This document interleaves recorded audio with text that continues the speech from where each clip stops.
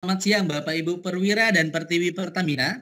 Di mana pun Anda berada, apa kabarnya siang hari ini? Semoga kita selalu tetap dalam keadaan sehat dan tetap semangat dalam menjalani aktivitas kita sehari-hari.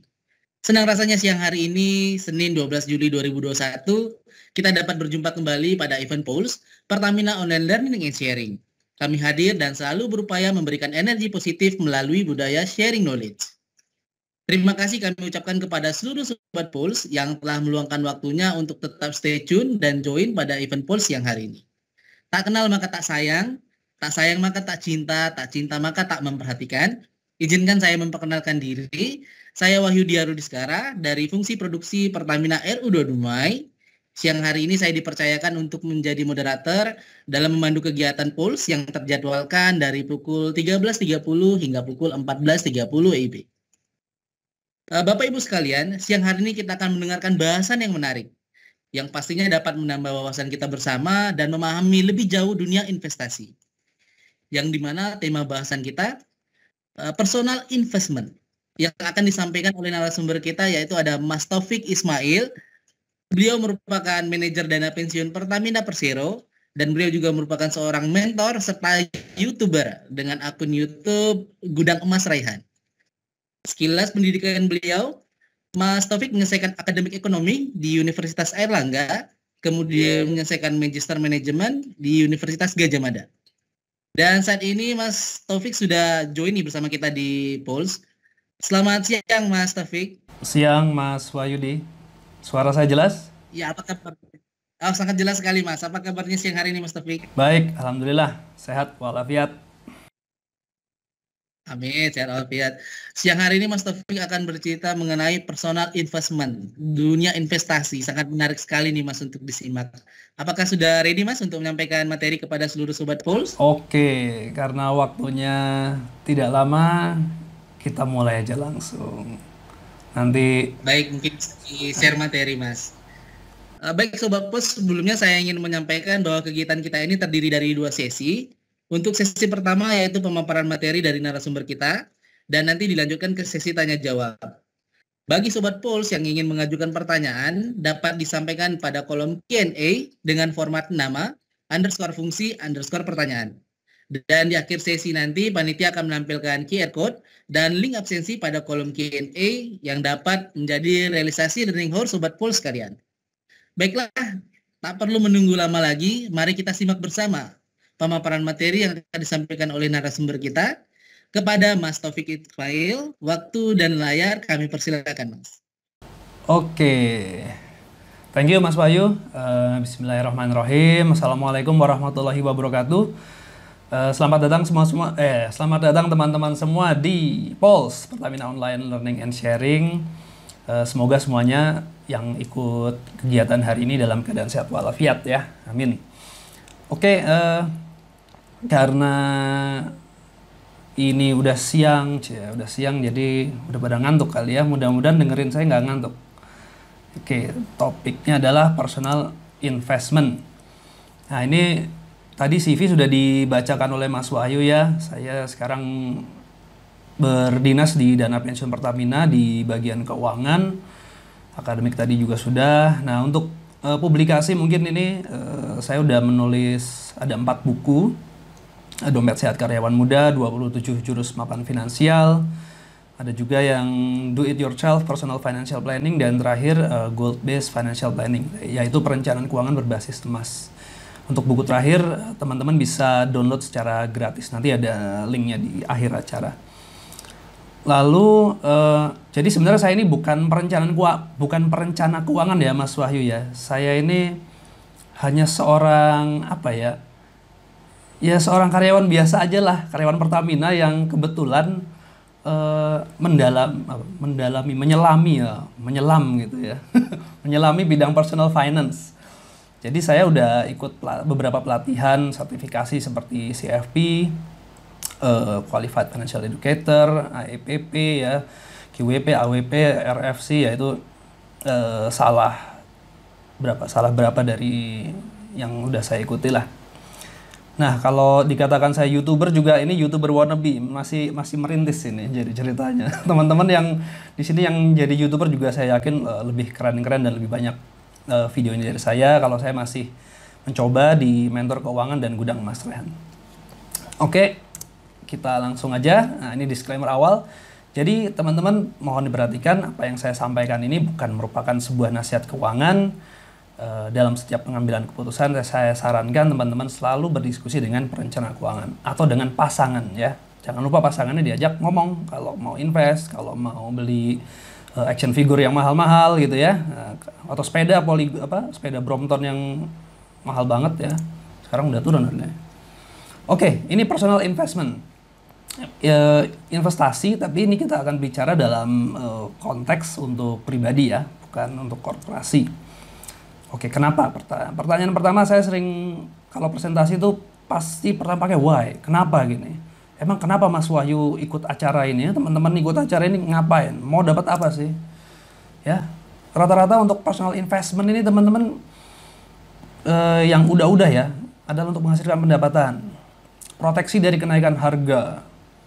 Kalau ada kebutuhan di masa depan lalu eh, pasti kita perlu invest ya lalu untuk menjadi kaya wah ini dia kalau menjadi kaya itu kadang eh, harus invest gitu teman-teman ya Lalu ada juga yang uh, kepingin bebas finansial, ya. Jadi dia perlu merasa perlu melakukan investment, investasi.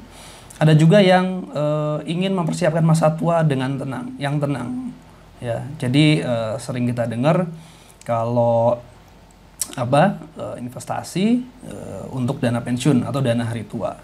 Di situlah uh, perlunya personal investment. Nah, tapi kalau saya coba putar balik sebentar ya teman-teman ya. Ini teman-teman pasti sering udah udah pernah lihat lah ini ya. Seperti yang ini nih yang di kiri nih. Agro, apakah saya boleh mengakhiri hidup saya? Wah. Lebih baik saya bunuh diri saja. Ini dana untuk sekolah anak saya. Kenapa kok sudah ARB? ARB itu bukan nama orang ya, tapi auto reject bawah ya untuk teman-teman yang aktif di saham dia pasti kenal ini Kenapa kok tidak di UMA, tidak diberhentikan? Ya, sampai artinya uang untuk anak sekolah dia dipakai untuk investasi. Ada lagi yang investasi pakai ini, pinjam online. 10 aplikasi pinjol dapat 170 juta, hajar kanan, antam, langsung 500 lot. Lalu antamnya jatuh. Kimia Farma gimana? Kali lagi Covid kemarin naik, sekarang ternyata nyangkut juga. Ada juga kasus yang ini nih. Ya, ini perencanaan keuangan ini uh, nggak perlu saya sebutkan namanya saya sensor jadinya ya jadi uh, dia uh, tahun 2018-19 ikut lalu ternyata duit duitnya akan dipakai di tahun 2020 jadi hanya sekitar selang 2 tahun untuk kebutuhan nikah. Tapi portonya minus 70% ini gimana? Lalu ini uh, satu juga Mimels ya. Ini juga tersangkut uh, ada kasus investasi bodong. Demikian juga di sini ada yang edisi kas juga ada investasi bodong. Dan juga ada yang investasi kripto. Nah, ini kripto lagi hype banget ya. Nanti kita akan singgung sedikit. Menjanjikan income fix eh, menjanjikan fix income dengan satu persen per hari dan ada juga 14% per minggu. Wah, luar biasa. Ya. Ada juga yang mengenai asuransi atau unit link. Nah, ini investasi-investasi personal yang uh, akhirnya uh, marak di media ya. Jadi dengan berasuransi kita bisa menabung 20 ribu per hari akan menghasilkan 110 juta 110 juta rupiah lebih. Dengan menabung di asuransi lebih tinggi daripada di bank bahkan. Kalau di bank biasa 4% per tahun, kalau di asuransinya bisa 15% per tahun. Asuransinya juga saya sensor ini ya. Nah ini kenapa bisa terjadi seperti ini di asuransi karena ada proses pemasaran yang kurang tepat, produknya tidak sesuai dengan karakteristik konsumen dan Pemegang polis asuransi juga tidak mengerti fitur produk dan risikonya. So dari kasus-kasus yang tadi saya uh, sampaikan di dua slide sebelumnya, ini kenapa bisa terjadi? Ada beberapa hal ya. Pertama tingkat literasi keuangan yang rendah. Orang Indonesia juga cenderung tergiur dengan tawaran keuntungan besar tanpa harus repot berusaha. Pengennya mau cepat-cepat instan, seperti mie instan ya. Cuma 5 menit rebus langsung jadi gitu. Ya. Mas Wahyu sempat kena investasi bodong nggak Mas Wahyu? Investasi bodong enggak sih Mas, ah. cuman rugi di investasi pernah. Oke. Okay. Jangan sampai ya. Kalau saya udah pernah kena investasi bodong soalnya. Jadi udah udah pengalaman ter apa ter, terjatuh lah gitu. Ingin untung besar dengan resiko kecil ya, ya siapa yang nggak mau ya untung 14% per minggu dengan resiko kecil. Di bank aja cuman sekarang bunga bank itu 3%, 2% per tahun. Ini bisa 14% per minggu, luar biasa banget. Ada juga yang ikut-ikutan tren, FOMO, fear of missing out ya. Testimoni dari tokoh masyarakat, tokoh agama, artis ya kalau kemarin beberapa bulan lalu sempat kita dengar nih pom-pom ya kan, pom-pom oleh beberapa artis untuk saham-saham tertentu. Nah, ini bisa terjadi. Terburu-buru dalam mengambil keputusan ya tanpa melalui uh, analisa yang uh, cukup. Oke, nah ini kalau kita lihat di survei dari OJK, indeks literasi keuangan di Indonesia memang bagus ya meningkat ya dari 2013, 16, 19, tapi sih angkanya masih cukup rendah di 38%. Namun secara tren dia sudah cukup meningkat. Ini sudah cukup bagus. Nah, sekilas mengenai literasi keuangan apa sih? Jadi uh, ada beberapa ini ya, ini dari saya ambil dari OJK, ada yang kalau not literate, less literate, hanya memiliki pengetahuan aja, ada sufficient dan ada yang well literate. Jadi uh, tujuannya adalah bagaimana meningkatkan yang not menjadi less, yang less menjadi sufficient, yang sufficient menjadi well literate. Kenapa? Agar masyarakat luas dapat menentukan ini produk layanan jasa keuangan yang sesuai dengan kebutuhan. Ini saya merahin sendiri. Harus sesuai dengan kebutuhan dan masyarakat harus memahami manfaat dan risikonya.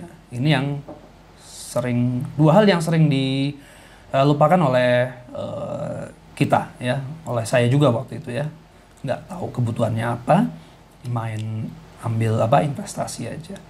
Nah manfaatnya untuk masyarakat apa? Literasi adalah nanti kita bisa memilih dan memanfaatkan yang sesuai kebutuhan. Memiliki kemampuan perencanaan keuangan yang lebih baik dan terhindar dari instrumen keuangan yang tidak jelas. Ini harapannya.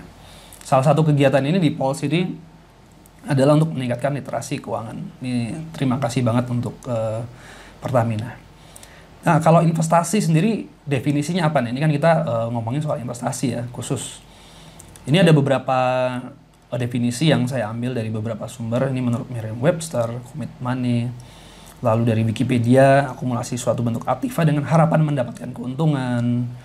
Ada lagi tindakan menginvestasikan uang di suatu instrumen. Ada juga yang menanamkan uang atau modal untuk tujuan memperoleh keuntungan. Well, secara umum uh, ada yang di tengah ini. Ini saya buat sendiri. Penanaman modal pada suatu instrumen dengan harapan mendapatkan keuntungan finansial di masa depan untuk memenuhi tujuan tertentu ya. Teman-teman coba uh, di, kita ulangi ya. Penanaman modal di suatu instrumen untuk mendapatkan keuntungan finansial untuk memenuhi tujuan tertentu ya. Itu investasi. Kalau asuransi adalah proteksi. Tabungan beda lagi Nah ini uh, bedanya antara menabung dan berinvestasi. Kalau menabung itu apa sih? Menabung tuh uh, lebih kepada tujuan untuk uh, berjaga-jaga, ya jangka pendek. Biasanya nabung, saya mau nabung buat apa sih? Uh, beli beli mainan gitu. Nabung lah dua bulan, tiga bulan. Saya mau nabung buat uh, mengumpulkan DP rumah. DP rumah dikumpulkan dalam waktu satu tahun, dua tahun. Itu ditabung uangnya ya instrumennya ada tabungan, deposito, reksadana, logam mulia, reksadana pasar uang dan risikonya relatif lebih rendah dibandingkan dengan berinvestasi. Kalau berinvestasi ini kita e, lebih kepada untuk memenuhi tujuan keuangan seperti definisi tadi ya untuk suatu tujuan. Yang ini juga untuk tujuan keuangan ya, tapi dia e, lebih jangka pendek e, ini horizonnya waktunya. Kalau investasi mulai dari pendek, menengah sampai uh, panjang ya, seperti untuk dana pendidikan anak uh, tahun atau 10 tahun lagi atau jangka panjang untuk dana pensiun. Instrumennya dan uh, banyak sekali ya. Reksadana, saham, properti, LM, bisnis, SBN, benda seni, ada aset kripto mungkin juga ya dan risikonya relatif lebih tinggi dibandingkan dengan uh, menabung. Nah ini ini suatu apa ya diagram apa chart yang saya coba susun ya. Makanya saya tulis uh, risk and return secara umum. Karena uh, ada juga yang beranggapan nggak nggak seperti ini. Nah ini kalau Mas Wahyu coba cek. Mas Wahyu sudah pernah beli kripto belum?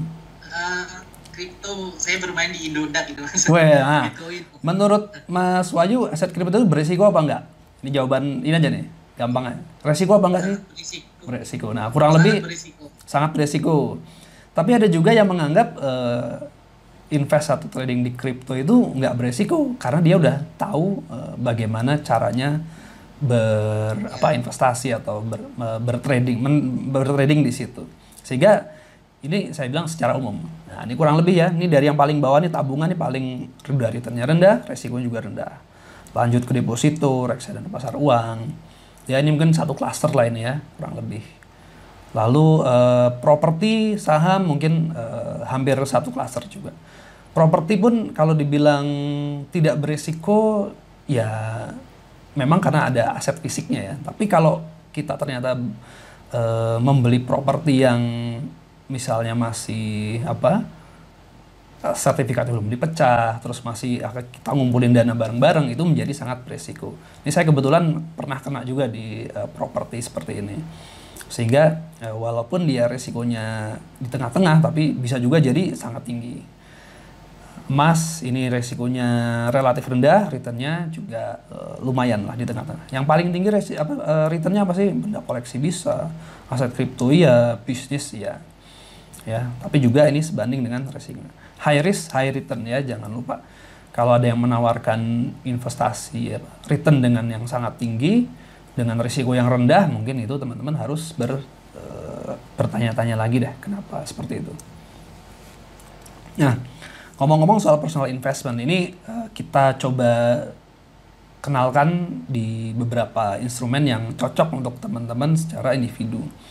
Ada saving bond retail dan sukuk tabungan untuk yang syariah ya. Ini jadi eh, dikeluarkan oleh negara ya SBR ini untuk individu pemesanan bisa mulai 1 juta. Tapi kalau teman-teman lihat kuponnya bisa bisa sampai 5,1 persen ya.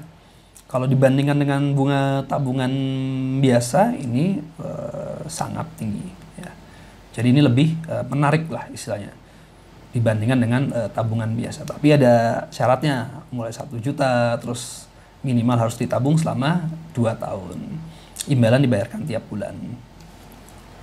Ada juga nah, obligasi negara retail atau kalau untuk syariahnya eh, sukuk retail. Kalau ini eh, dapat diperdagangkan di pasar sekunder. Kalau yang tabungan tadi eh, tidak bisa diperdagangkan, tapi ada fasilitas early redemption, bisa juga dicarikan lebih cepat ya. Tapi kalau yang namanya obligasi atau sukuk retail ini bisa diperdagangkan di pasar sekunder. Ini teman-teman eh, bisa beli di sekuritas-sekuritas ya di agen-agen yang memasarkan itu eh, banyak ya. Kalau nggak salah ada sekarang ori ori 14 kalau nggak salah eh eh SR 14 sorry lagi ditawarkan ini. Ya, ini pengelolanya dengan untuk eh, dengan prinsip syariah. Nah, kalau yang mungkin populer banget di teman-teman ini reksadana ya. Ini reksadana ini banyak banget aplikasinya mulai dari di sekuritas sendiri juga banyak masa membuatkan aplikasi reksadana. Ada juga yang aplikasi khusus yang eh, untuk reksadana, ada juga di online online shop pun juga kita bisa beli reksadana. Sangat banyak eh, tempat kita bisa membeli reksadana. Nah, ini adalah apa sih reksadana itu? Wadah yang dipergunakan untuk menghimpun dana dari masyarakat pemodal untuk selanjutnya diinvestasikan dalam portofolio efek oleh manajer investasi. Portofolio portofolio efek itu apa? Eh, saham, surat utang, ya. Itu eh, termasuk efek-efek surat berharga lah istilahnya. Nah, ada empat jenis yang teman-teman eh, minimal perlu ketahui. Ada reksadana pasar uang, reksadana pendapatan tetap, reksadana campuran atau kombinasi, dan reksadana saham. Nah, ini sesuai eh, tingkat risikonya. Mulai dari yang paling rendah di sini nomor satu, lebih tinggi dua, lebih tinggi lagi tiga, lebih tinggi lagi di reksadana saham. Ya, perbedaannya apa? Kalau yang reksadana pasar uang ini hanya berinvestasi di eh, instrumen pasar uang dan efek yang jatuh temponya kurang dari satu, satu tahun. Bahkan dia kadang juga berin, apa, memasukkan dananya di deposito. Nah, teman-teman bisa juga masukin dananya ke reksadana pasar uang ini eh, sehingga bisa ikut rate deposito yang lebih tinggi daripada kalau teman-teman eh, mendepositokan sendiri uangnya ke bank. Jadi kalau Kalau Mas Wahyu punya uang 10 juta misalnya ya, lalu pergi ke bank, deposito, ya udah cuma dikasih rate sesuai yang ada di bank tersebut. Tapi kalau Mas Wahyu masukin 10 jutanya ke reksadana, pasar uang, nanti akan dihimpun dengan e, dana lain sehingga mungkin terkumpul jadi 10 miliar. Kalau si MI-nya maju ke bank dengan uang 10 miliar, pasti rate-nya akan lebih e, tinggi. Lalu yang kedua, reksadana pendapatan tetap ini kebanyakan dalam bentuk uh, efek bersifat utang atau obligasi, baik SBN maupun obligasi korporasi. Kalau yang campuran gimana? Campuran ada dua, dari yang obligasi sama saham. Kalau yang saham gimana? Sekurang-kurangnya 80% uh, berbentuk efek bersifat ekuitas. Nah, ini gambaran apa sederhananya ya. Jadi kalau saya sering mengibaratkan reksadana itu gado-gado. Nah, Mas Wahyu sudah makan? Gado-gado. Siang-siang lapar. Atau yang lagi lagi puasa, jangan-jangan semua lagi puasa nih. Jadi kalau lontong itu diibaratkan deposito, telur rebus diibaratkan obligasi ya, kalau timun itu saham, maka yang meracik bahan ini menjadi gado-gado adalah namanya manajer investasi. Dialah peracik gado-gado. Ya. Nah, setelah diracik jadilah reksadana, jadilah produknya. Ya, gado-gadonya. Lalu gado-gado ini dijual oleh penjual gado-gado, namanya agen penjual reksadana. Ini bisa bank, juga bisa apa? E, sekuritas ya. Inilah penjual gado-gado. Lalu siapa yang makan gado-gadonya? Konsumen gado-gado yaitu e, Mas Wahyu sebagai investor. Nah, ini yang kemarin di sempat rame adalah satu orang itu dia bertindak sebagai perencana keuangan juga bertindak sebagai penjual produknya, juga bertindak sebagai manajer investasinya. Ini yang tidak boleh, Mas Wahyu ya. Jadi peran ini harus dipisah. Manajer investasi tidak boleh sama dengan uh, penjualnya. Seorang perencana keuangan juga tidak boleh melakukan pengelolaan ini, membuat gado-gado. Ya. Ini hanya boleh dilakukan oleh manajer investasi. Dia harus certified uh, wakil manajer investasi dikeluarkan oleh OJK WMI. Apakah si siapa perencana keuangan ini walaupun misalnya punya WMI pun ya bisa saja dia menjadi apa manajer investasi tapi secara entitasnya juga harus dirubah. Jadi manajer investasi itu mengacu pada uh, entitas ya, bukan orang. Kalau orangnya adalah WMI, wakil manajer investasi. Lalu penjual reksadananya adalah WAPER, wakil penjual reksadana. Ini semua ada uh, sertifikasinya ada ujiannya. Jadi nggak nggak nggak gampang uh, seseorang misalnya, oh gue udah tahu nih, uh, Mas Wahyu misalnya udah udah bisa bikin apa portofolio ya, Mas Wahyu bikin lever, bikin antam, bikin uh, eh, BCA gitu, lalu diracik jadi suatu portofolio, lalu Mas Wahyu jual nggak boleh karena Mas Wahyu bukan seorang WMI dan juga bukan seorang seorang wakil penjual reksadana. Jadi harus hati-hati teman-teman kalau ada tawaran-tawaran seperti ini. Nah untuk saham ini sekilas juga kalau teman-teman yang lagi mulai mau ber apa bertrading atau investasi, eh, ya sekali lagi ya trading saham dan investasi saham itu berbeda. Kalau trading adalah untuk uh, jual beli ya jual beli saham. Kalau investasi lebih kepada uh, nanam modal satu kali lalu sudah ditaruh. Kita akan berharap dividen, kita akan berharap capital gain. Tapi kalau trading itu biasanya kita jual, kita beli, kita jual, beli, kita jual, beli. Returnnya bagusan mana? Bisa tergantung ya, bisa bagus yang trading, bisa juga yang investasi. Tergantung e, bagaimana teman-teman melakukan tradingnya dan melakukan investingnya.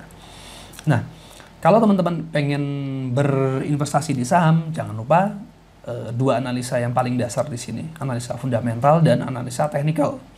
Kalau fundamental itu uh, kita bicara soal price earning ratio, price to book value, laporan keuangannya seperti apa, penjualannya, ya, lalu uh, debt to equity ratio yang seperti apa, banyak banget ya.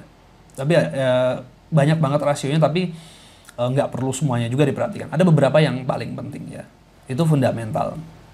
Nah kalau teknikal gimana? Teknikal ini lebih ke seperti ini.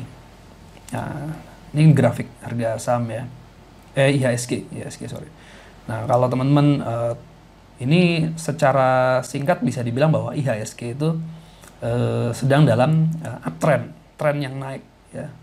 Ini garis supportnya di sini, ini resisten. Nah, itu uh, banyak mengenai analisa teknikal. Jadi dia akan uh, melihat momen-momen timing-timing yang paling tepat untuk melakukan uh, aksi beli dan aksi jual ya atau atau hold seperti itu. Itu analisa uh, technical.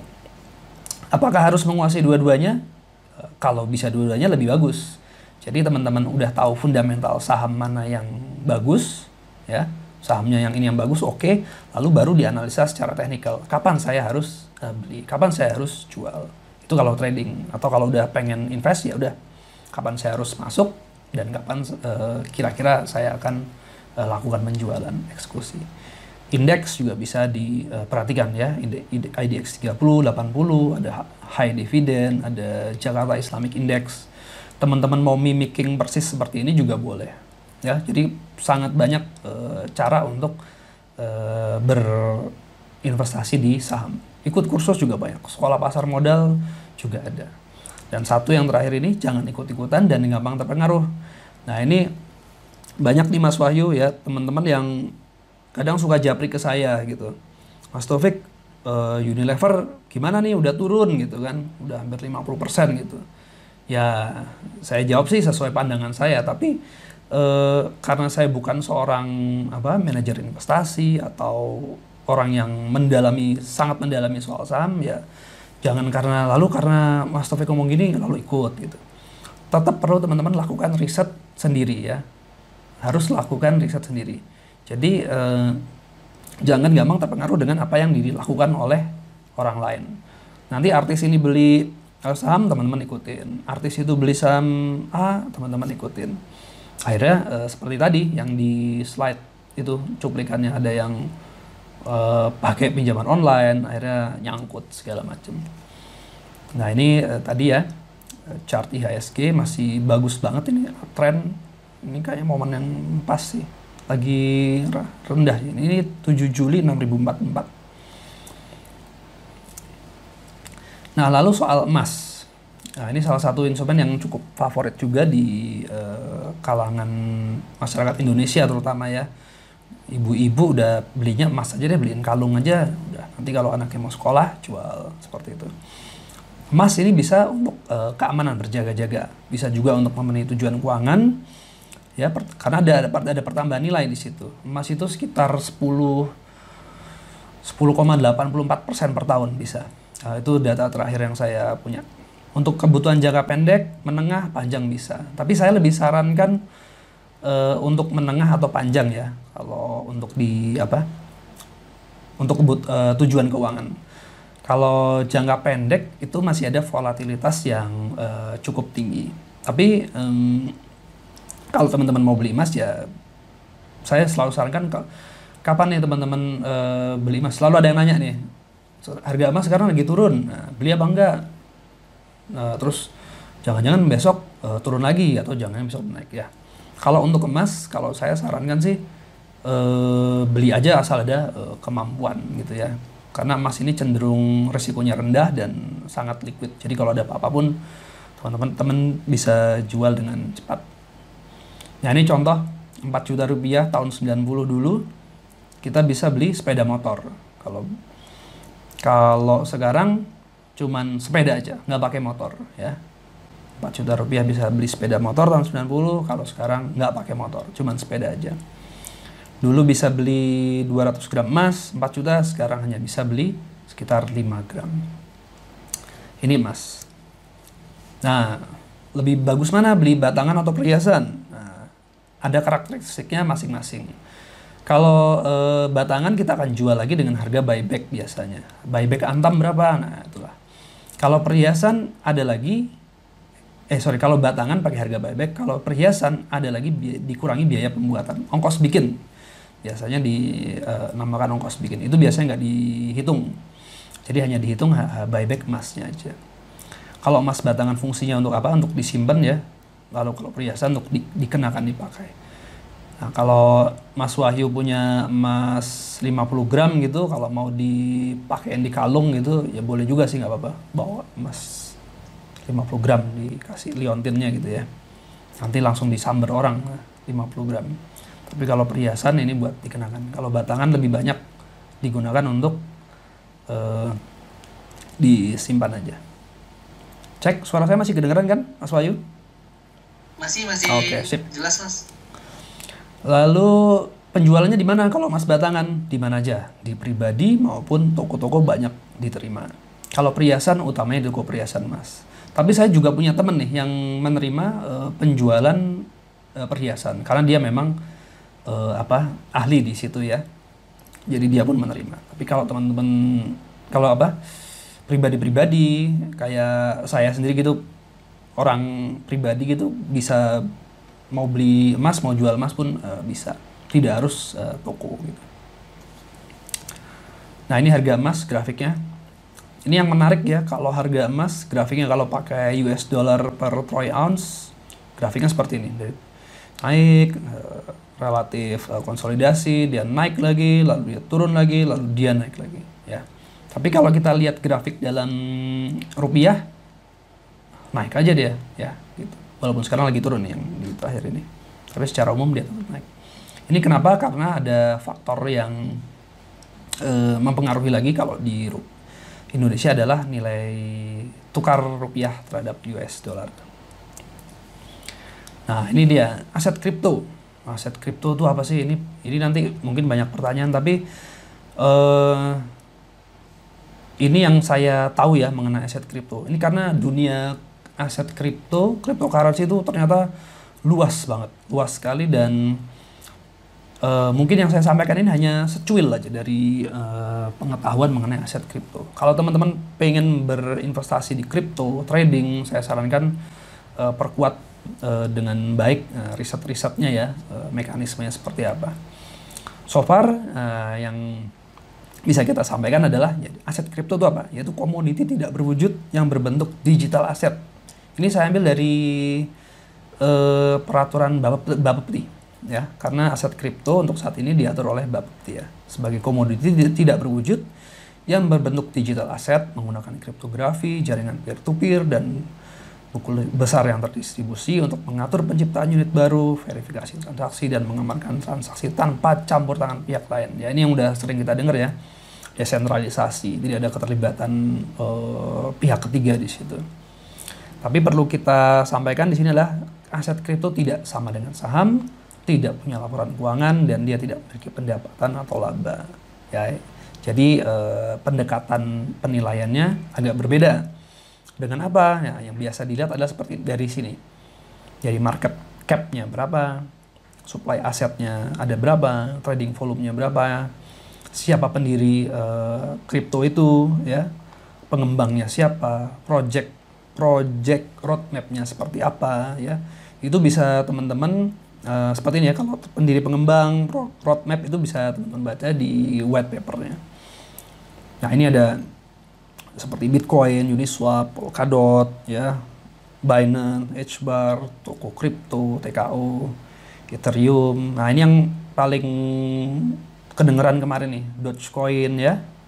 Uh, Elon Musk di di sharing yang dua terakhir kalau nggak salah. Pas di more eh di PTK ada yang bertanya mengenai uh, Dogecoin. Itu pas lagi uh, tinggi tingginya pas lagi naik dan lumayan juga sih uh, untungnya. Tapi sekarang ya udah gimana? Nah Ethereum ya. Jadi sebenarnya kripto itu kalau yang kita tahu kan teman-teman pasti uh, tahunya nih Bitcoin, Ether ya. Lalu eh, TKO, lalu ada Polkadot, Cardano, segala macam. Ada sekitar 5.600-an koin token yang beredar saat ini. Jadi kalau ngapalin satu-satu saya juga susah. Nah, tapi yang hmm, perlu diingat adalah Ethereum, lalu Bitcoin, lalu ini Hedera. Ini adalah sebenarnya platform ya jadi sebuah platform. Jadi kalau kita ngomong soal kripto itu ngomong soal platform juga, platform blockchain. Nah, kalau Hedera ini beda lagi bukan blockchain, dia ada namanya uh, Hashgraph dengan dengan namanya punya Gossip Protocol. Jadi uh, dalam di atas platform-platform tersebut itu dibangun aplikasi-aplikasi dApps, decentralized application. Nah, untuk menggunakan kalau dApps mau pakai uh, platform Ethereum atau Hedera ini harus uh, bayar dengan koin yang sesuai yang tadi namanya. Kalau Ether, Ethereum pakai Ether, kalau Hedera Hashgraph pakai Hbar. Bitcoin blockchain pakai uh, Bitcoin. Ada lagi satu lagi yang baru muncul namanya ICP. Bukan Indonesian Crude, Crude Price ya, ICP, tapi Internet Computer. Nah, itu ada lagi satu platform cuman belum belum terlalu apa uh, booming. Nah, masing-masing menawarkan keunggulannya sendiri-sendiri. Ethereum seperti apa? Kalau di sini ya, first generation itu Bitcoin, yang kedua itu Ethereum, yang ketiga ada Hydra Hydra Hashgraph. Ini yang saya uh, ketahui. Ada lagi nanti internet komputer. Ini juga menawarkan keunggulan kecepatan transaksi ya, keamanan segala macam. Nah, ini yang tadi saya bilang Dogecoin. Ini saya kalau nggak salah bulan Februari ya. Nah, itu waktu itu Dogecoin masih di sini nih. Itu lagi udah naik-naiknya. Ternyata di bulan April nah, seperti ini. Jadi dalam waktu 116 hari itu terjadi kenaikan 3.878% di Dogecoin ya dari Januari 12 ke bulan Mei 3.800%. Kalau Anda masukin 5 juta di Januari itu ya, Mas Wahyu masukin 5 juta, langsung jadi 190 juta dalam waktu 116 hari. Be, coba masukinnya 100 juta ya, jadi berapa? Tapi apa yang terjadi kalau itu nggak dijual? Balik lagi ke sini nilainya. Ya, jadi uh, tetap harus perdalam risetnya. Bitcoin sendiri gimana? Bitcoin. Bitcoin kalau dari Desember 2020 sampai April 2021 ada kenaikan 177 persen. Ya lumayan, lumayan tinggi ya. Tapi dia juga sekarang lagi turun lagi. Nah, ini teman-teman yang e, mendalami Bitcoin, kripto, saya yakin banyak di sini dan lebih jago daripada saya. Namun e, mau anda pakai obligasi, mau pakai emas, mau pakai reksadana, mau pakai kripto, mau berbisnis, mau pakai properti, tetap ada hal-hal yang harus diperhatikan sebelum berinvestasi. Profil risikonya seperti apa, teman-teman? Konservatif, moderat, atau agresif? Tujuan keuangan yang ingin dicapai apa? Ya. Kalau di slide tadi eh, ada yang mau menikah dalam waktu 2 tahun lagi tapi dia masukin ke saham. Nah, seperti kita tahu saham itu instrumen keuangan yang lebih cocok untuk jangka panjang. Nah, kalau untuk dua tahun lagi itu termasuk jangka pendek, maka lebih lebih wise kalau teman-teman masukin itu ke tabungan atau deposito atau reksadana pasar uang paling paling tinggi lah ya. Tujuan keuangannya apa? Kalau untuk jangka pendek pakailah instrumen jangka pendek. Tujuan keuangan jangka menengah pakailah jangka menengah. Panjang pakailah jangka panjang ya. Jangan dibalik-balik. Lalu nah ini dana yang akan digunakan yang akan divestasikan adalah uang dingin. Nah, uang dingin ya jangan uang panas. Uang dingin apa lagi ini maksudnya? Maksudnya uang dingin adalah uang yang sudah di memang sudah benar-benar dialokasikan. Memang sudah benar-benar di akan digunakan untuk investasi ya. Jadi bukan uang dapur. Uh, nanti istrinya marah marah-marah lagi. Pak, ini mau beli beras kok uangnya nggak ada gitu. Ternyata dipakai beli saham. Waduh, kacau nanti itu, ya. Lalu buat pendidikan anak, ya seperti tadi buat pendidikan anak ternyata dimasukin ke saham juga pas ternyata kemudian sahamnya turun. Wah kacau udah jadi investasi harus dengan uang yang uh, dingin. Sudah uh, dialokasikan untuk investasi. Jangan lupa juga lakukan financial check up ya. Jadi gimana taunya nih ini uang dingin uang panas ya? Bukan uang panas. Uang dingin atau uang yang belum belum siap digunakan gitu. Harus lakukan financial check up ya. Apakah teman-teman uh, selama ini cash flow-nya surplus atau defisit? Apakah sudah punya dana darurat atau tidak? Apakah sudah punya asuransi atau belum? Apakah sudah ada dana yang diinvestasikan terlebih dahulu sekarang? Jadi kalau misalnya sudah ada investasi di emas 100 gram, ternyata ini akan untuk dana pendidikan anak, ya maka 100 gram ini sudah bisa dihitung sebagai dana awal. Nah, macam-macam yang harus diperhatikan. Nah, ini dia. Ini yang selalu ini apa ya? Ini penting banget teman-teman ya. Ini saya sarankan ini saya buat sendiri ya. Ini ini bukan nyontek dari mana-mana tapi kalau teman-teman akan melakukan investasi, pelajari dulu ya. Pelajari dulu. Apa? Apa instrumennya?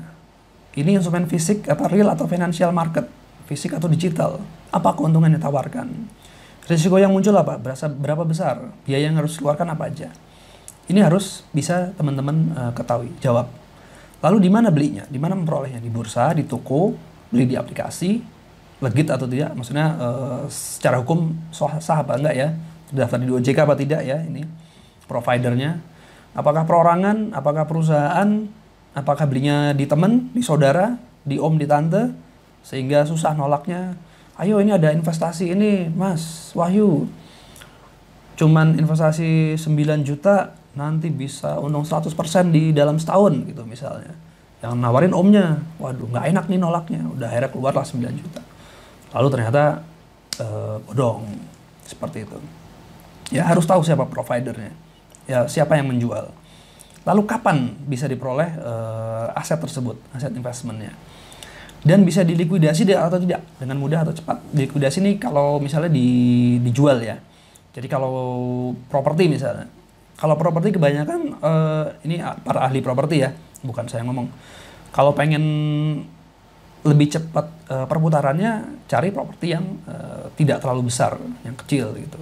Yang gede pun sebenarnya bisa juga sih, yang rumah kayak di Pondok Indah di mana, Bayoran tapi mungkin lebih untuk likuidasinya tingkat likuiditasnya lebih rendah daripada yang rumah-rumah kecil.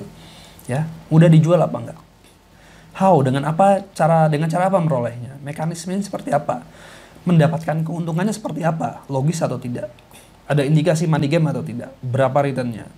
Kalau nggak mencapai target ada jaminan atau tidak? Ya biayanya berapa? Yang seperti apa pengawasannya? Dan terakhir adalah ini Kenapa saya harus memiliki uh, investasi tersebut? Relevan atau tidak dengan tujuan keuangan saya, dengan tujuan hidup saya? Ya. Kalau tadi uh, untuk biaya menikah misalnya, lalu belinya di saham, relevan atau tidak? Ya menurut saya kurang relevan. Kalau teman-teman ada rencana menikah satu tahun lagi, nggak usah pusing-pusing mikirin taruh di kripto atau taruh di apa properti atau taruh saham ditabungin aja. Itu sudah uh, cukup ya. Oke ternyata udah selesai. Nah ini tadi uh, link yang saya bilang silakan download di sini uh, for free ya uh, ebooknya. Mas Bayu demikian dari saya. Terima kasih. Uh, kita bisa mulai ditanya jawab. Udah berapa lama ini? 45 menit. Baik terima kasih Mas Taufik. Ini sharingnya sangat menarik sekali nih Mas. Sangat sangat memberi wawasan kepada kita semua nih Mas. Terbukti Mas untuk audiens kita 1080 dia 82 peserta nih Mas. Wah, rekor. Ya,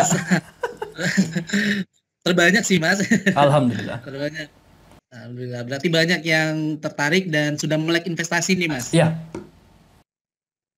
Baik.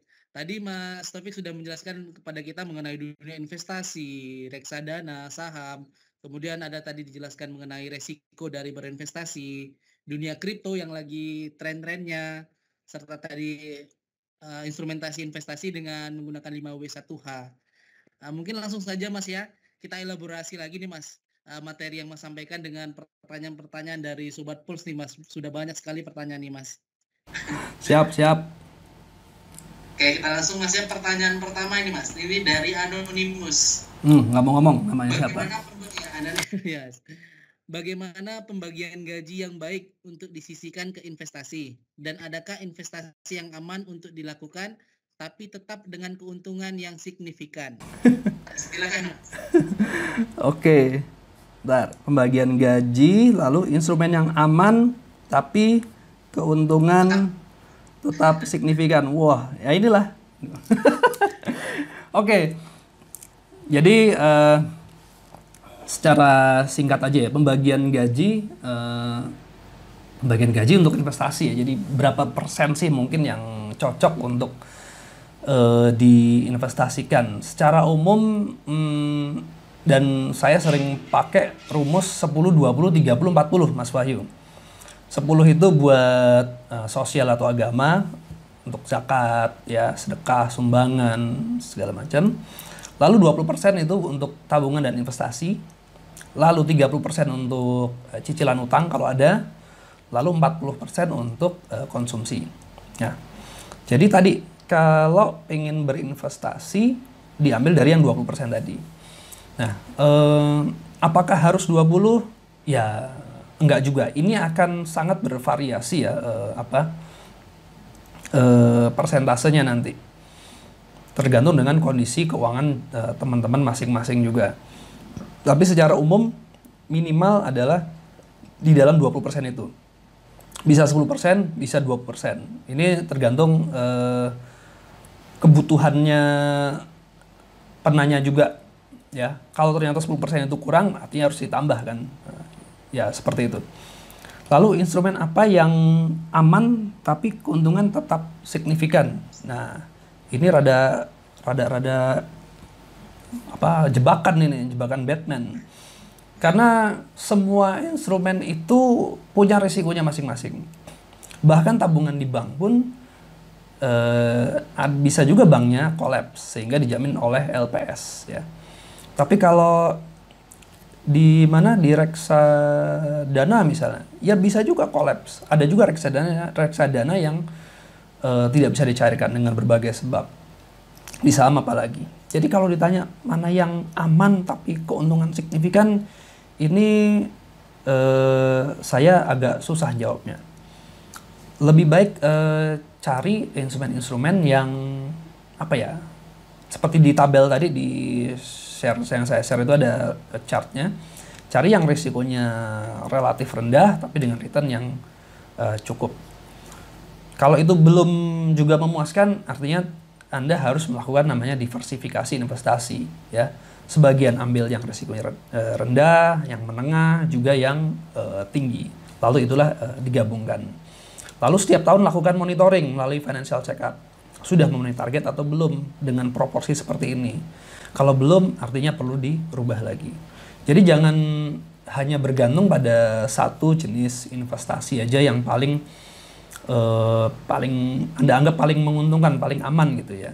ya don't put your eggs in one basket gitu. Tapi kalau uh, apa pengen jadi kalau pengen yang untungnya tinggi tapi aman, ya itu nanti jatuhnya ya kayak apa investasi-investasi bodong tadi. dijamin pak, dijamin seminggu 14 persen. Waduh, ngeri banget itu. Gitu, gitu Mas Bayu. Baik, terima kasih Mas untuk jawabannya. Semoga menjawab pertanyaan dari saudara kita anonimus tadi. Kita lanjut ke pertanyaan selanjutnya nih Mas. Ini dari Perwira Numi dari KP beliau statement beliau seperti ini. Terima kasih sharingnya Mas. Selama WFH, pekerjaan cukup padat. Bagaimana membagi waktu untuk investasi? Dalam kurung misal memantau chart. Eh, kemudian pertanyaan kedua Mas, ada dua pertanyaan Mas. Bagaimana menentukan saat kita ada dana lebih, baiknya bayarkan utang, cicilan atau KPR, atau diinvestasikan untuk diambil profitnya, kemudian dibayarkan hutang. Gimana sarannya Mas Taufik? Oke. Bagaimana pertama membagi waktu saat uh, eh, WFH, WFO ini ya, memantau chart.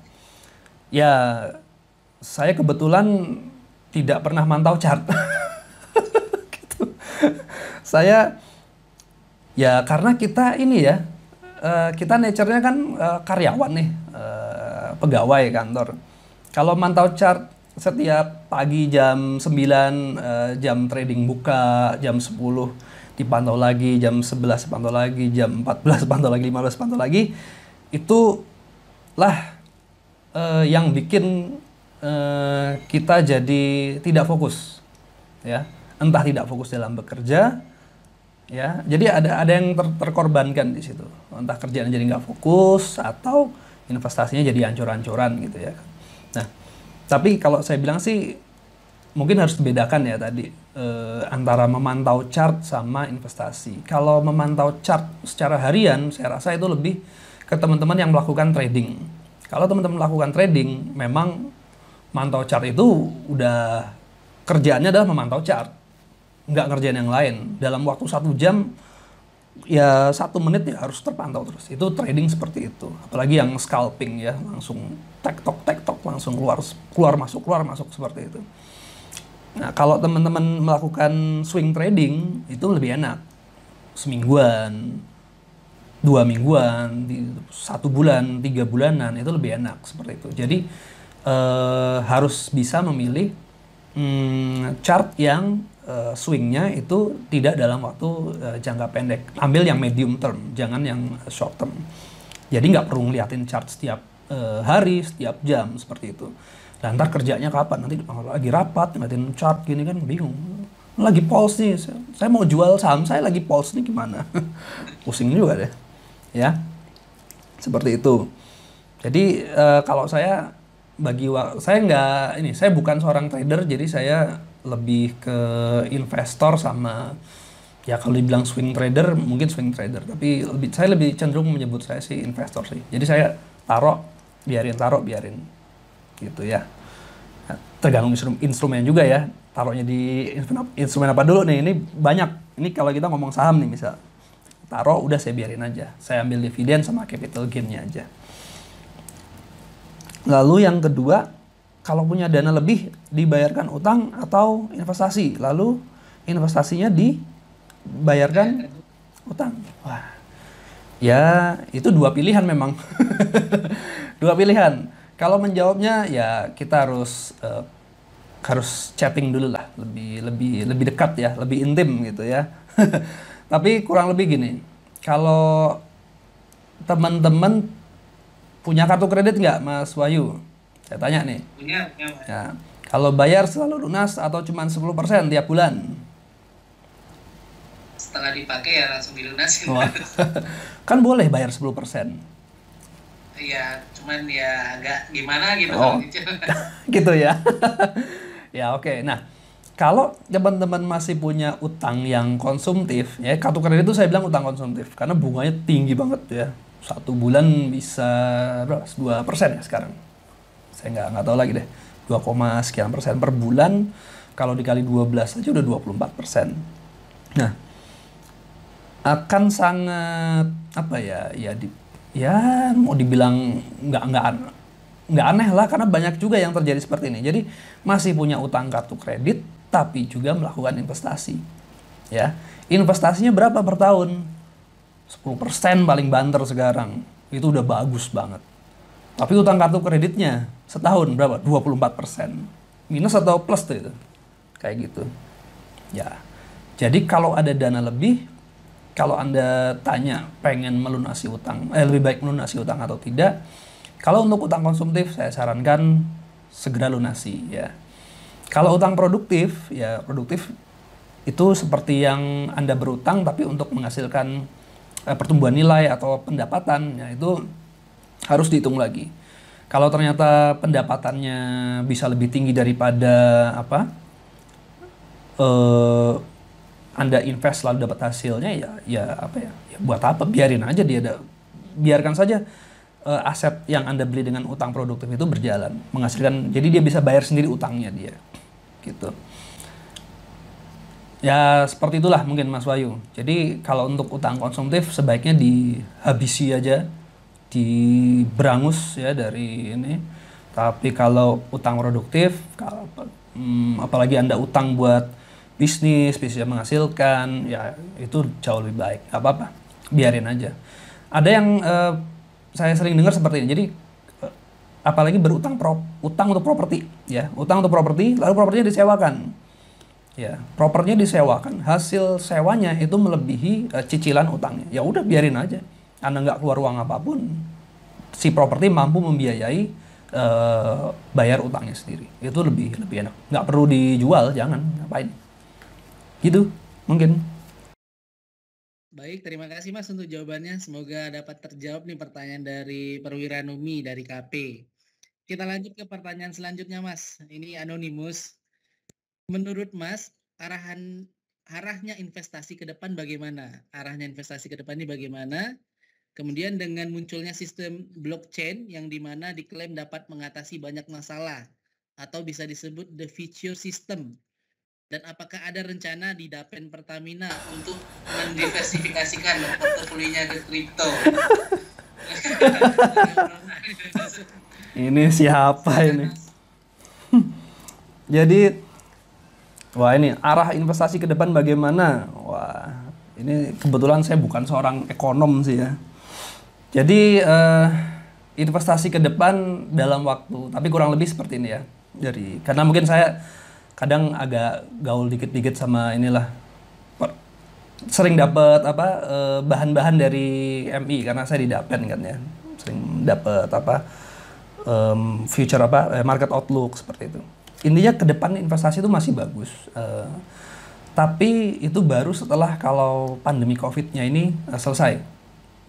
Ya, ini jadi pandemi covid ini benar-benar jadi satu apa ya satu momok lah jadi satu apa satu hal yang benar-benar harus diselesaikan terlebih dahulu ya kalau pengen uh, investasinya jauh lebih uh, tinggi lagi itu satu seperti itu jadi uh, investasi ke depan teman-teman jangan khawatir uh, kita menatap masa depan dengan apa uh, optimis. Tapi memang dalam setahun ini mungkin dua tahun ke depan uh, tetap harus apa ya ya berhati-hatilah. Jangan konservatif banget juga uh, silakan aja bereksplorasi tapi tetap berhati-hati uh, siapkan dana darurat yang uh, cukup Lalu apakah dengan blockchain bagaimana? Apakah ke depan Dapen akan berinvestasi ke blockchain? Kayaknya uh, nggak, Dapen nggak boleh. POJK-nya nggak nggak ada ngomong soal blockchain, uh, soal kripto juga bahkan ke emas saja nggak boleh yang paling apa ya, sederhana itu juga nggak jadi tetap ke SBN saham ya seperti itu properti juga ada tapi kalau ditanya soal blockchain ke depannya seperti apa ini memang eh, dari pembelajaran saya yang masih minim juga ya eh, potensi ke depannya ini sangat-sangat eh, luar biasa Mas Wahyu ya sama Mas penanya jadi dengan adanya blockchain kemudian juga apa Ethereum 2.0 nanti Ethereum kan sekarang uh, sering sering banyak dikeluhkan karena masih lambat segala macam dengan mekanisme proof of work. Nanti uh, diganti dengan proof of stake. Kalau itu sudah jalan diharapkan kecepatan transaksinya akan lebih uh, cepat lagi ya. Nah, ini potensinya banyak banget. Saya bahkan nggak bisa saya nggak apa nggak bisa membayangkan nggak tahu arahnya bakal seperti apa nanti. Ini kayak internet dulu masih dianggap internet itu apa, www itu apa, buka email aja susah, ya nge-save aja nggak nggak tahu caranya gimana. Nah, mungkin kripto itu uh, dunia blockchain itu sekarang seperti ini. Ke depannya akan sangat uh, luas banget. Uh, pengembangan-pengembangan uh, dApps ya itu dengan basis uh, platform Ethereum, Hedera, nanti juga ICP juga itu bakal uh, sangat banyak. Tapi yang memang sedang uh, yang apa ya yang sangat besar sekarang komunitasnya itu Ethereum ya di Ether itu ada lagi Binance Smart Chain wah ini banyak lagi jadi dunianya luas banget. Jadi saya sendiri juga nggak berani ngomong terlalu banyak di sini mengenai blockchain tapi yang jelas potensi pemanfaatannya ini sangat besar gitu. Jadi kalau mau ya, kalau ada yang mau coba coba invest di kripto ya pelajari lagi dan uh, berhati-hati ya. Tetap berhati-hati dengan saat invest ke Ether atau Bitcoin atau yang lainnya ya. Resikonya tadi Mas Wahyu juga resikonya tinggi. Saya juga bilang tinggi itu harus hati-hati sedikit aja lah persentasenya masuk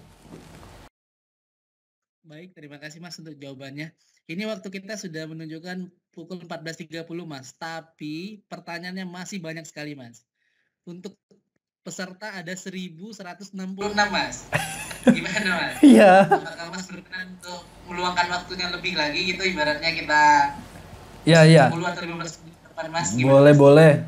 Boleh, silakan buat Pertamina, buat Pertamina kok. Kita lanjut mas ya pertanyaan berikutnya ini anonimus lagi nih mas. Terima kasih atas paparannya. Statement beliau, saya mau bertanya terkait emas. Sesuai ini mas, sesuai dengan channelnya Mas. Kita lihat saat ini cukup banyak jenis emas, khususnya logam mulia mulai dari 1 gram bahkan 0,01 gram. Yang beratnya kecil misalnya 0,1 gram akan lebih mahal jika dikumpulkan menjadi 1 gram. Namun dalam penukaran, logam mulia yang ukuran kecil akan lebih mudah ditukarkan. Pertanyaannya Mas, apakah ada taktiknya untuk investasi di logam mulia ini? lebih baik dibanyakin yang ukuran kecil atau yang ukuran besar? ini pada anonimus semua pada ini nih malu nih. Aduh. Ya, jadi ini sesuai. Jadi apa sih? Kalau saya dibilang pedagang emas juga apa ya? Saya ini ya itulah udah suka personal finance dan emas menjadi salah satu instrumen favorit saya ya udah gitu aja lah gitu. Kebetulan seneng banget sama emas gitu. sehingga saya punya channel Gudang Emas Rehan tadi itu ya. Itu channel edukasi sih sebenarnya, edukasi mengenai emas. Nah, langsung ke jawaban. Jadi lebih baik hmm, ya jadi tadi statementnya adalah benar ya. Kalau LM dengan uh, gramasi yang lebih kecil itu secara nilai atau harga per gram pasti akan lebih mahal daripada kalau uh, teman-teman beli yang 1 gram, 5 gram, 10 gram, 100 gram ya. Pasti seperti itu karena eh, biaya cetaknya pun juga ada ya di sana. Jadi mau mau cetak yang 0,025 gram sama cetak yang 100 gram tetap ada seperti itu biaya cetak. Jadi akan terlihat lebih mahal gitu ya. Tapi secara value emasnya sih tetap bernilai. Nah, eh, tadi lebih enak beli kecil atau yang gede ya gitu ya? Iya, benar. Nah, kalau ini saya selalu kembalikan ke teman-teman. Jadi bukan masalah lebih enak beli gramasi kecil atau gramasi besar. Saya lebih kepada pertama adalah teman-teman beli ini buat apa dulu? Beli emas. Apakah buat jangka pendek, menengah atau panjang? Akan dijual lagi kapan ya? Dia akan lagi dieksekusi kapan emasnya? Kalau masih lama, eh, bagus. Emas itu seperti saya bilang tadi, cocok cenderung untuk jangka menengah sampai uh, panjang. Kalau buat dana darurat, dana darurat yang akan tidak digunakan, kita harapannya juga boleh digunakan emas. Nah, lalu pakai yang mana beli emasnya? Apakah beli yang gram masih kecil atau besar? Ya, tadi juga sudah dijawab sendiri sebenarnya sih. Gram masih kecil secara pas, pasti akan lebih mahal daripada uh, gramasi yang besar. Nah, jadi secara nature ya tentu lebih uh, val, apa lebih enak, lebih value-nya lebih tinggi kalau beli dengan gramasi besar. Beli 10 gram pasti lebih hemat daripada beli yang 0,1 gram, itu udah pasti. Beli yang 1 gram pasti lebih hemat daripada yang 0,025 gram.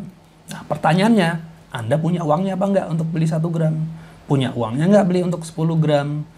Bagaimana cara teman-teman mencicil beli emasnya? Apakah setiap bulan? Apakah tiap kali dapat bonus? Amin, beli bonus. Apakah setiap tahun? Atau kalau dapat THR atau dapat uang cuti? Nah, kalau dapat uang cuti, setiap kali dapat uang cuti, itu kan lumayan tuh. Kalau teman-teman beliin yang 0,1 gram ya buat apa juga kan? Langsung beliin kemasan apa gram masih besar dong, ya. Nah, kalau lagi kemampuan uangnya terbatas, beli yang kecil gimana? jadi mahal dong. Ya kembali lagi ada satu resiko di sini. Kalau kalau tidak saya investasikan emas sekarang, nanti uangnya akan ke mana? Bisa ditabung nggak untuk beli gramasi besar? Kalau nggak bisa dinabung, anda orang yang nggak disiplin, lebih baik beliin aja emas dengan gramasi kecil. Itu jauh lebih baik daripada ternyata anda tabung, lalu ternyata besok Mas Wahyu lihat ada iklan apa sepeda bagus gitu, wow, gue beli aja nih sepedanya. Ya selesai lama nggak jadi beli emas juga kan. Nah, itu kembali ke uh, makanya kembali ke personal masing-masing. Bisa disiplin atau tidak beli emasnya atau uh, atau bisa disiplin. Kalau susah disiplin biasanya, nah ini biasanya metodenya pakai cicilan sehingga dipaksa beli emas, ya. Memang lebih mahal ada biayanya. Ada walaupun saya tahu juga ada yang bisa tanpa ini ya tanpa bunga syariah. Bener ada tuh sebenarnya. Tapi ya itu itu banyak cara. Kembali lagi ke personal masing-masing. E, sesuai dengan kemampuannya ya. Mau beli yang kecil gede silakan. Yang penting ada duitnya baik benar mas beli mahal, buybacknya juga nanti lebih mahal ya mas ya. iya. Ya, ya, ya. Baik, semoga dapat terjawab nih pertanyaan dari Anonymous. Kita lanjut ke pertanyaan selanjutnya mas. Ini dari Pertiwi Dewi Yusfa. Pertanyaannya bagaimana cara mengelola gaji untuk investasi berupa saham atau emas dan untuk beli rumah atau kendaraan.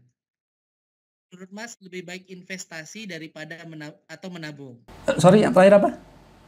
Lebih baik mana investasi atau menabung gitu Mas? Oh, nah ini kalau masih ada pertanyaan lebih baik mana menabung atau investasi inilah ya tadi beda menab antara menabung sama investasi itu beda.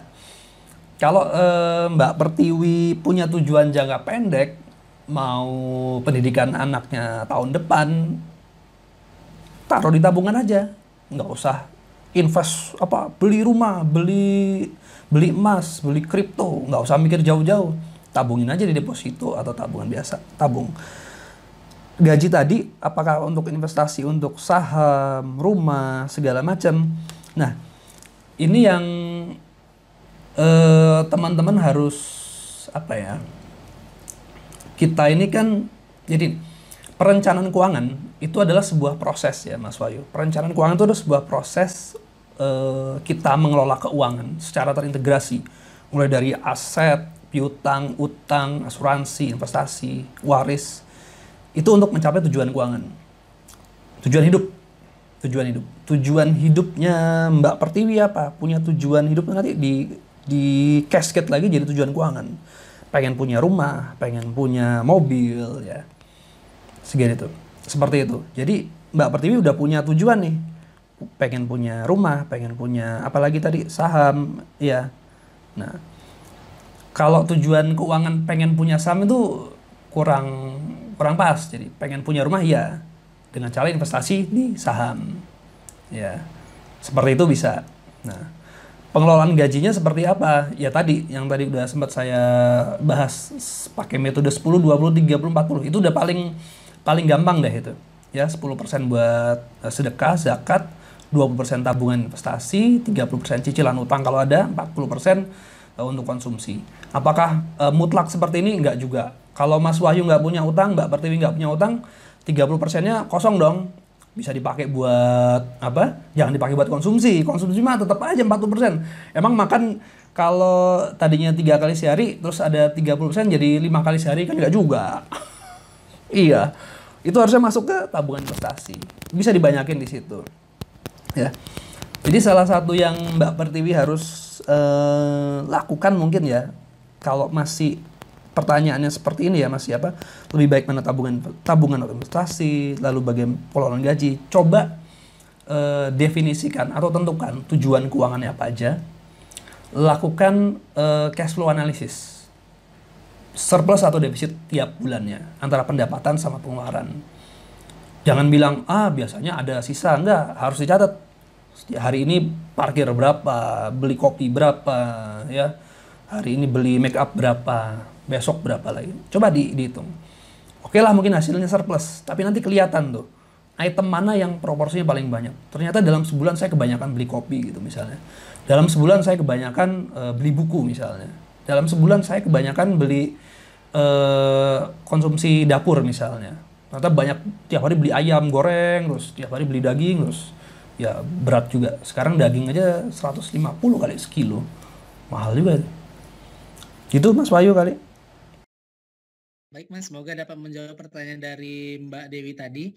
Kita lanjut pertanyaan selanjutnya ini dari RU7 Kasim nih Mas. Oh, Wih, jauh sekali. kali. Dari, ya, dari Pak C. Bani S, e, Nebore nih, sahabat kita nih, sahabat Plus juga. Pemaparan yang sangat menarik, izin discuss. Dalam situasi pandemik COVID-19, mohon sarannya. Apakah baik jika melakukan investasi misalnya asuransi jiwa dan lain-lain? Bagaimana Mas? Iya. Nah, ini juga aduh, ketemu nih satu-satu yang memang perlu literasi keuangannya. Satu, apakah perlu investasi di asuransi jiwa? Satu hal yang saya, harus saya sampaikan bahwa asuransi jiwa itu bukan instrumen investasi. Ya. asuransi itu adalah proteksi, melindungi diri, bukan melindungi diri kita, tapi melindungi diri orang yang akan kita tinggalkan asuransi jiwa. Jadi, jadi uh, ini pakai contoh siapa ya? Jangan saya contohnya. Si Fulan. Misalnya si Fulan meninggal. Kalau si Fulan meninggal, dapat asuransi jiwa, maka uang asuransi jiwa tersebut akan digunakan oleh anak istri si Fulan untuk melanjutkan hidup, biaya pendidikan anaknya, ya, uh, sekolahnya seperti apa gitu. Uh, bukan bukan bukan untuk si si fulannya. Si fulannya mah nggak udah udah meninggal nggak tahu nggak nggak bakal dapat apa-apa gitu dia kan. Nah uh, itu satu. Jadi asuransi jiwa bukanlah sebuah instrumen investasi. Ingat investasi itu untuk mendapatkan suatu keuntungan mendapatkan penambahan nilai. Asuransi enggak asuransi itu hanya mengganti sejumlah uh, tanda kutip kerugi, uh, kerugian ekonomis yang uh, di, di, di, di, dialami. Asuransi mobil misalnya penyok ya udah yang diganti biaya penyoknya perbaikan.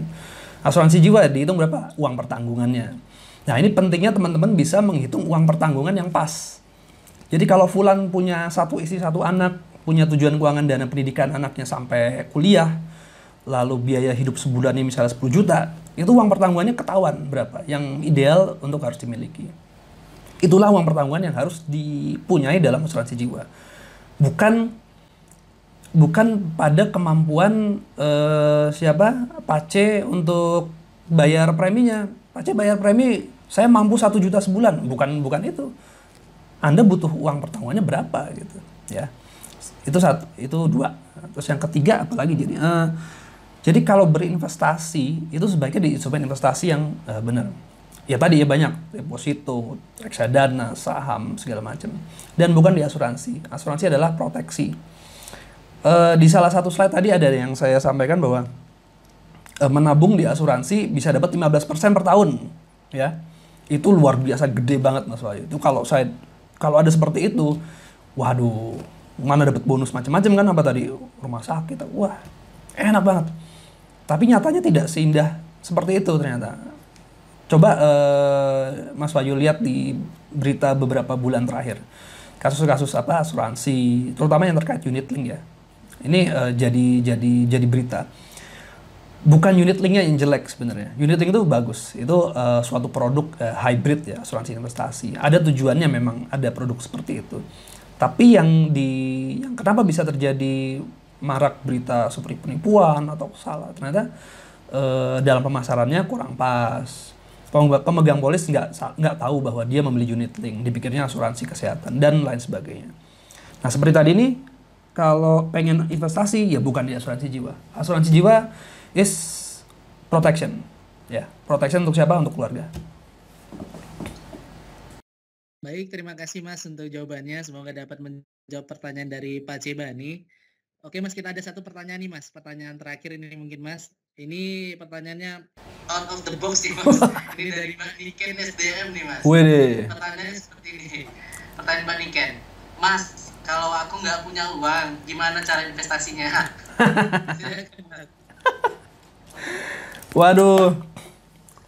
Gimana kalau nggak punya uang tapi pengen investasi? Ya. Jadi, hmm, investasi itu adalah satu bagian dari perencanaan keuangan, ya. Dalam perencanaan keuangan ada yang namanya money management, ya. Jadi kalau nggak ada money-nya, nggak ada yang di-manage, alias nggak ada yang diinvestasikan. Itu sudah pastilah, ada-ada aja. tapi tapi gini lah, hmm, ya di pertanyaan yang memang sering di, di, diutarakan sih. Saya nggak punya uang untuk investasi, nggak bisa menyisihkan uh, yang terjadi di Indonesia kebanyakan pola pengeluarannya adalah seperti ini. Kita dapat gaji ya di awal di, di akhir dapat gaji lah. Lalu dipakai untuk konsumsi. Mas Wahyu beli daging sapi buat makan, beli apalagi beli minum, bayar anak sekolah, bayar zakat, bayar utang. Nanti kalau ada sisa, baru ditabung, baru diinvestasikan. Ya. Ingat, yang pertama ulangi lagi nih. Ada gaji, dipakai konsumsi, Lalu kalau ada sisa baru ditabung atau diinvest. Kira-kira ada sisanya nggak sih? Biasanya kalau udah dipakai maksudnya. Kalau ada dikit tuh ya. Udah udah udah habis lah malah. Apalagi Mas Wahyu. Waduh habis semua. nah, kalau pengen ada uangnya untuk investasi, maka dibalik. Habis terima gaji, yang pertama harus dilakukan adalah apa? Apa ya Mas Wahyu? Kalau habis terima gaji. Untuk dapur dulu sih Mas. Buat dapur dulu. ya ya. Kalau habis terima gaji, biasanya kewajiban dulu yang harus dibayar. Ya, kewajiban apa nih? Utang. Ya, ini kewajiban ini kewajiban kepada dunia duniawi nih. Utang ke bank, utang ke saudara, utang ke orang tua. Kalau ada ya, ya ini saya ingatkan ke teman-teman ya, walaupun punya utang ke orang tua atau saudara, jangan dianggap lalu uh, bisa di apa di skip skip gitu aja. Jangan anda utang ke bank aja bayar tiap bulan. Masa ke orang tua ke saudara kagak dibayar gitu? Biasanya gitu. Utang ke saudara nanti aja nanti aja. Jangan ke saudara itu kadang juga membutuhkan. Utang ke itu lebih dulu tapi sebenarnya ada satu lagi kewajiban yang harus didahulukan yaitu ke uh, agama ke sang pencipta. Jadi habis terima gaji jangan lupa sedekahnya dulu perpuluhannya dulu, dana punianya dulu, dharmanya dulu jangan lupa. Habis kewajiban di untuk akhirat selesai, kewajiban dunia udah bayar utang, baru untuk dana darurat, asuransi, investasi ya. Jadi di awal untuk dana darurat tabungan, tabung dulu sebagian buat dana darurat. Dana darurat berapa kali pengeluaran? 3 sampai 12 kali pengeluaran bulanan. Lalu buat asuransi preminya. Lalu buat investasi sama investasinya. Jadi kalau dikeluarkan di awal dan kita menganggap bahwa tabungan investasi itu ada sebuah pos pengeluaran, maka keluarkan di depan. Jangan kayak Mas Wayu tadi buat dapur duluan, habis duluan, kebutuhan dapurnya berapa juta. Ya, keluarkan dulu kewajibannya. Lalu tabungan sama investasi, baru sisanya itulah konsumsi Anda. Baru jadi bukan gaji, konsumsi ada sisa baru ditabung, tapi dirubah menjadi gaji, kewajiban agama dulu, kewajiban manusia, tabungan investasi, sisanya untuk konsumsi. Lah mas, kata Mbak Nika nanti gini, kalau nggak cukup gimana konsumsinya? Ya harus cukup. Kalau sampai nggak cukup, artinya cash flow Anda, pengelolaannya ada sesuatu di situ. Ya, sampai nggak bisa nabung, sampai nggak bisa invest tuh perlu dicek. Uh, Ceknya bukan sama saya, sama perencana keuangan aja. Itu kali. Baik, terima kasih Mas untuk jawabannya. Mas ini ada yang jawab saya beberapa orang melalui WhatsApp. Apa? Pertanyaannya mungkin untuk semua juga nih Mas. Satu pertanyaan lagi ya Mas. Iya iya iya. Wih, 1245 orang luar biasa. Iya mas, 1247 audiens luar biasa. Belum lagi yang nonton bareng mas, ada yang Hah? nonton bareng. Oh gitu. Satu PC itu ya, satu PC ya, untuk ya. lima orang. Sip, semoga bermanfaat. Iya mas. Ini pertanyaan dari Japri WA nih mas, teman-teman kita mas. Izin bertanya nih mas, jika mendapat mendapat insentif dan bonus dari perusahaan, investasi apa yang bagus untuk jangka pendek? jangka pendek nih mas. Silakan mas. Iya iya. Ya itu tadi sudah ada tabelnya mungkin kalau kelewatan. Kalau investasi jangka pendek artinya ini saya berasumsi eh, penanya akan menggunakan kembali uangnya dalam jangka waktu dekat ya dalam setahun maksimal tiga tahun jangka pendek biasanya. Nah kalau udah kayak gini eh, maksimal anda bisa lakukan di reksadana pendapatan tetap maksimal.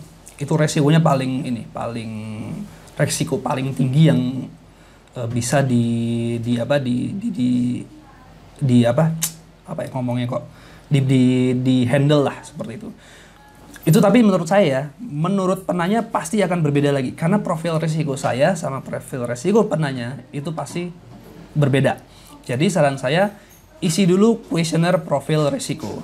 Ada ada ada banyak lah di internet bisa diisi.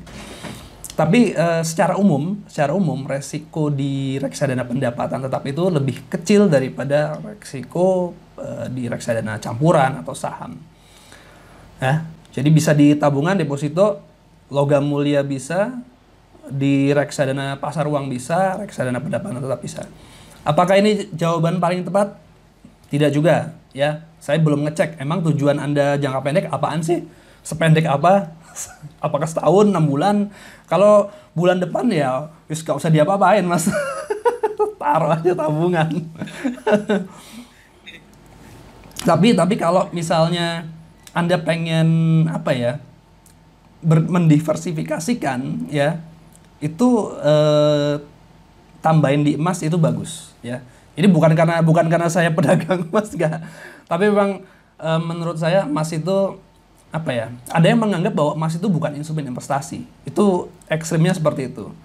Emas itu sebenarnya nggak ada nggak ada nilainya. Emas itu ya cuman emas doang, alat tukar aja, bukan komoditi. Kita aja yang menghargai emas sampai 1.800 dolar per troy ounce seperti itu. Yaitu ini mindset masing-masing orang ya, tidak bisa disamakan. Tapi menurut saya eh, emas itu sebuah instrumen yang bisa Anda pakai jangka pendek, menengah, panjang, tergantung tujuannya. Gitu.